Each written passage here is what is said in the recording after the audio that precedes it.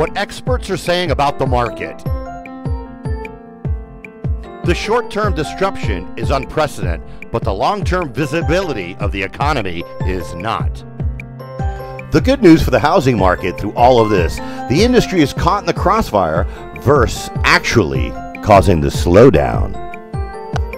The temporary softening of the real estate market will likely be followed by a strong rebound once the economic quarantine is lifted, and it's critical that the supply is sufficient to meet up with the demand.